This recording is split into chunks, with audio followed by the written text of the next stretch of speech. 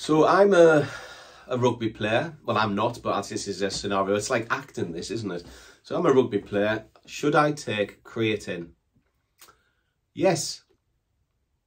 If I was a nutritional coach for one of the rugby teams, if I was a nutritional coach for England, I'd have them all on creatine. I'd have them on creatine and something called beta-alanine. Uh, the is like a marriage. I'd be micronized creatine or be creatine hydrochloride, something like that, and beta-alanine together. Your power will be intense. Your uh, recovery will be superb. Your up to the 10 second sprint will be enhanced dramatically. Your actual ATP production will be firing. Your lactic acid, that's when you start to get fatigued, will be reduced or buffered significantly. Your power, your everything else, I said power, so you're going to get double power because I said it twice.